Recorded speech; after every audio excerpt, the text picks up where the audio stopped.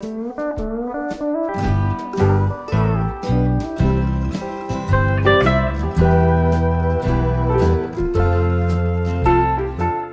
welcome to the Crop Protection Network virtual Crop Scout School episode on armchair scouting, doing your homework before going to the field. My name is Adam Sisson. I am a certified crop advisor and I work for Iowa State University Extension and Outreach as part of the Integrated Pest Management Program. Today, we're going to be talking about the things that you can mostly do from home to prepare you before you even set foot in the field. And there's kind of two different things here. We're going to be focusing primarily on the first of those, getting uh, current in-season data about what you might be seeing in the field. And the other part of it, which we won't be talking about quite so much, is just increasing your general knowledge base about what healthy plants insects disorders and other issues look like so that you can better recognize them when you go to the field I'm going to touch on a lot of things. Some of them will overlap. That includes uh, extension as a resource, social media, podcasts, apps, and online tools, weather data, books made of real paper that you can hold, soil maps, historical imagery, local conversation, current and past field data, and then also uh, credibility and applicability, which are important things to think about. One of the first resources that uh, um, that is available to you is Land Grant Extension. Extension does a lot of work to help farmers and others out.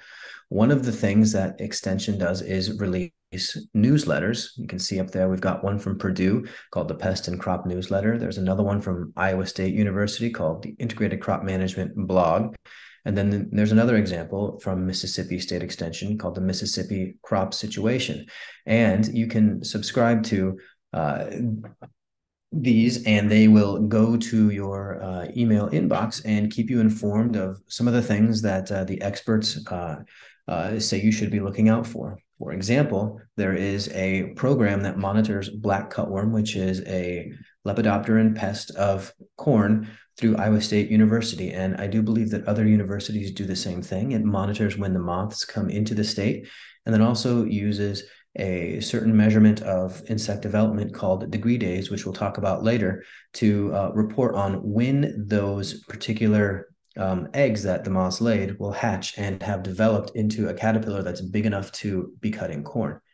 And so these newsletters might help you to figure out, oh, I should be looking for this particular pest at this particular time. People are seeing this in the field, et cetera, et cetera. Now, University Extension also has oftentimes area agents, and you can see maps here from Indiana, Nebraska, and Iowa that help to determine which of those area agents is applicable to your location. Um, and you can get into specific contact with these area agents to uh, um, to uh, help you. And one example of that is is this newsletter that's specific to uh, a, a, field agronomist from Iowa State University named Josh Michael. Now, he covers seven counties in Iowa, and uh, he releases a newsletter that's separate from the ICM blog newsletter that I mentioned earlier from Iowa State University that might be more applicable to his specific area of the state. And so you can get the bigger state picture and possibly drill down with extension as well. And there are lots of other resources as well out there. Another important thing to get real time information is the use of social media. There's Twitter, Instagram, and uh, you folks watching this can probably name more than I can, but Twitter is a particularly important one for ag based things. And there are industry certified crop advisors and extension that have Twitter accounts that, if you follow them, you can get a good handle on what you might be able to see in a field at any particular time. So we've got a private ag business, uh, a, a, private ag business account up at the top there. And uh, we've got several other folks from Extension on the bottom three uh, showing, hey, you know, the one from Darcy Telenko says we uh, are seeing tar spot in our research plots, and, and she's in Indiana. And so that might give the person who has subscribed to her account a clue that, hey, tar spot might be showing up about now in the fields that I go to look at. So I might be particularly on the lookout for that. And you can see the one from Tom Allen down in the bottom corner uh, talking about soybean rust that he found in a specific county in Mississippi. So find some good uh, social media sources for uh, ag news and make sure you uh, listen up to uh, what they're saying. They can help clue you in about what's going on. There are also podcasts as a resource um, and radio, of course, and you can listen to these uh, while you're driving to uh, college or you're a job or when you're in the um, tractor and there are ones that are based that that are based out of extension sources and there are other ones as well. For example, A Penny for Your Thoughts is put on by uh, two guys who are in uh, ag industry, but they really tailor their podcast so that it's uh, wide uh, ranging and not just about their particular company. You can see some great examples up there. There's War Against Weeds. Uh, there's the uh, one based out of Louisiana. You can see in, in the corner there. And the Soybean Pest podcast, which is done by Iowa State Entomology. You can subscribe to these on your smartphone, Apple, Spotify. Uh, again, if you like listening to podcasts and uh, want to get the latest on ag news, uh, uh subscribe in your uh, favorite uh, software. Speaking of software, there's also apps and online tools out there that can help folks be prepared for what they might be seeing in the field at any particular time. Some examples that I'm going to mention include the Corn IPM Pipe, Tar Spotter, Soybean Gall Midge Alert Network, and Sporecaster. The picture you see right now is the corn IPM uh, tracking software for tar spot. You can see a map of the uh, eastern United States there with various counties that are highlighted in gray. Those are the counties where tar spot has been found over the last several years. And uh, each year it has spread a little bit more. And if you are um, on the edge of those grayish highlighted counties, uh, you might be on the lookout for tar spot because it might be continually spreading and spreading into your area um, uh, this next growing season. And as people find it, and uh, they will actually report it, and uh, those counties will highlight a different color to show where it's been found in the most current year. But you can keep an eye on this, and you know if you're far away from some of those highlighted counties, and you know that tar spot may not be a problem, it might not be something that you need to be looking out for in your field. There's an app called Tar Spotter, which helps to forecast tar spot in an area. This is another one called the Soybean Gall Midge Alert Network, which uh, works similar to the Corn IPM Pipe Tar Spot web page. You can see the various counties that soybean gall midge, which is a relatively recent soybean pest, you can see where it's been found each year. And very similar to the corn IPM pipe one. If you're on the edge of one of those highlighted counties uh, and you haven't seen soybean gall midge before, well, maybe this year is the lucky year that you find it or unlucky year that you find it out in the fields. And so you might want to pay particular attention to the edges of the fields or spots where this pest shows up if you are in one of those highlighted counties or nearby one. Conversely, if you're uh, far away from one of the highlighted counties, you can uh, uh, uh, put uh, soybean midge out of your mind because it's not as likely to be there. Here's another app called Sporecaster, which uh, forecasts white mold of soybean. And these are just a few tools. I'm sure you can figure out um, which ones are applicable to your situation. Some local examples include an ISU pest forecasting map, which you can see here, uh, also a Midwest Pest Alert Network and the UNL Soybean Management Calendar. So this ISU pest forecasting map will allow you to program what kind of pest you uh, or select what kind of pest you are interested in and uh, the start date for when you want degree days to uh, start accumulating. And then you can get predictions of or get how many degree days have elapsed uh, for your particular part of Iowa in this case on this map. And, and so you can, going back to the black cutworm example I used earlier, you can see how many degree days have elapsed and you can say, oh, I should be looking out for larvae that are cutting corn in my field because this map is predicting that uh, they should be in my area right now, or they should be active in my area. This is an example of the Midwest Pest Alert Network, which lets you sign up for uh, text message alerts. And here's an example of the University of Nebraska Lincoln soybean management calendar. You can see how you can select different types of uh, pests there from diseases to insects to weeds. And there's a little red line there that shows the current date. And when you log in, you will be able to see, at least for uh, Nebraska, like what particular uh, pest uh, is likely to be seen at that particular time of the year. So you can use this to figure out, oh, hey, you know, I might be able to see pest X, uh, but pest Y is not going to come for another month or so. Again, just to help you understand what you're more likely to see in the field versus what probably is not going to be there. Weather data is important as well, and there are lots of different sources for that.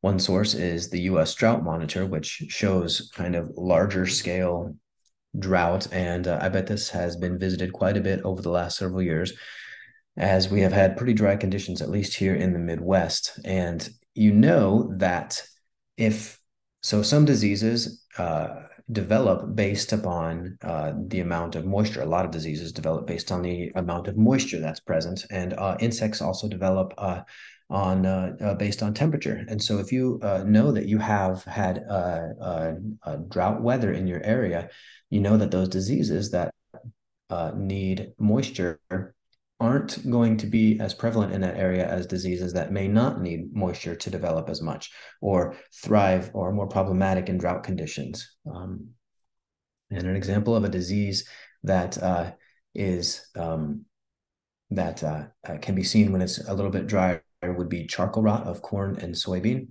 And uh, foliar uh, fungal diseases of those crops wouldn't be as prevalent when it's dry. Uh, on the other side of the screen here, you can see some outlooks for precipitation and temperature.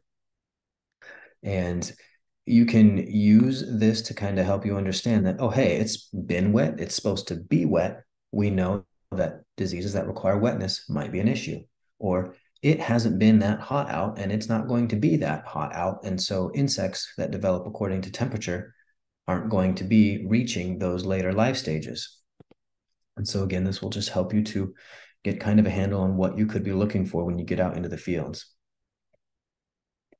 There are also uh, more local mesonets, for example, the Colorado mesonet, mesonet or the Iowa Environmental Mesonet, uh, the Louisiana Agroclimatic Information System, and that can be used to gather additional weather data. There are ways to access degree days. Degree days are a measurement of temperature that helps to gauge uh, how far along in development uh, a plant like corn is or insects are. Um, again, as we mentioned earlier, insects develop uh, uh, according to how hot or cold it is. If it's generally cooler, the insect is not going to develop or go through its life stages as much as it would be if it's hotter. It'll progress through its life stages quicker. And so, in this particular tool from the Illinois Climate Network, uh, you can select your area of Illinois and or the I guess the location that's closest to you, be it Monmouth or uh, Peoria or Big Bend or DeKalb, and then you can input your planting date and calculate uh, crop degree days. Here's another tool from Illinois, uh, from the Illinois Climate Network, and this lets you select a specific pest that you are looking for, a uh, station that's located nearest you, and then uh, to calculate the degree days that have uh, uh, passed for uh, those particular pests. And because pests are biological creatures, they're going to develop at different rates. For example, the alfalfa weevil might develop uh, faster or slower than, for instance, the black cutworm or the corn rootworm or earworm. And that's why you can select which pest uh, you want to out of this. So you can uh, see which ones, or so you can understand each individual one.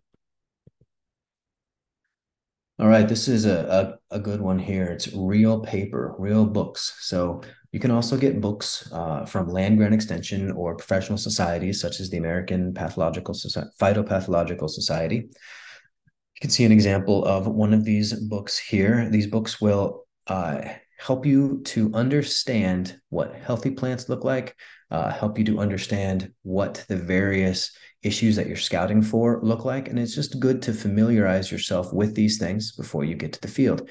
It's much easier to come armed with a um, full brain uh, than it is to uh, try to figure it out why you're out there. And of course, you can always ask for help and refer to books later, but get as much knowledge as you can at the get go and carry that with you into the field. You can't lose it.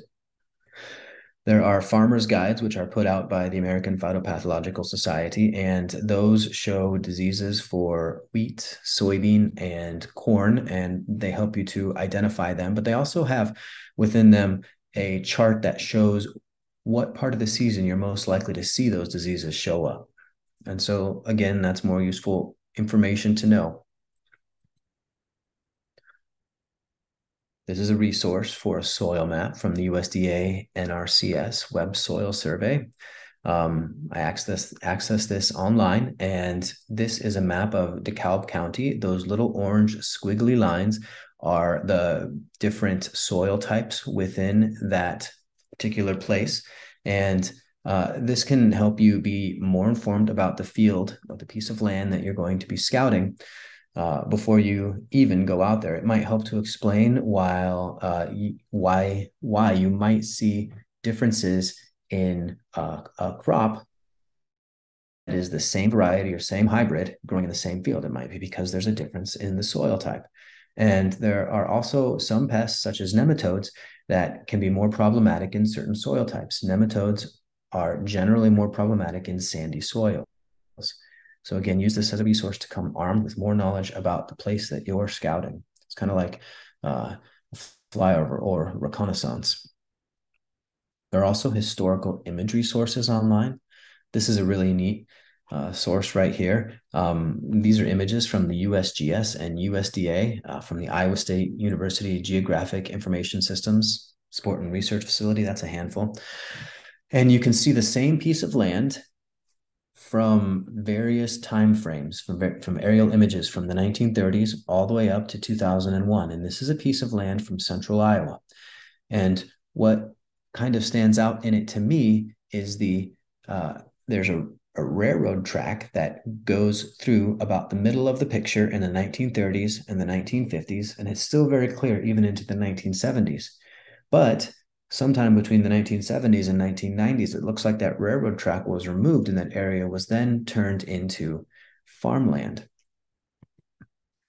Again, here's a close up of the 1950s versus the 2021 aerial imagery. You clearly see the railroad track cutting through the center of the image. And then the color image, there's no longer any railroad track, but you can still see some of the evidence in the field uh, as to where that railroad track once existed. And that, again, might help to explain uh, some of the differences you will see in an area in a crop field, because there might have been past activity in an area that has caused this year's uh, issues. Another thing that's interesting between this 1950s picture and the 2021 picture is the uh, there are less fields and uh, larger fields in 2021 compared to the 1950s there. It's interesting to see that land use change. Here's another example from uh, the 1970s compared to 2021. In the center of the picture, you see some grass waterways in that central plot of land. And by 2021, the grass waterways no longer exist. Instead, you have um, some of those terraces in their place. And so you can just get a feeling for how land use has changed. What existed in this particular pot, spot in the past? Are we seeing a difference here because there's an old fence line that was there that is no longer there?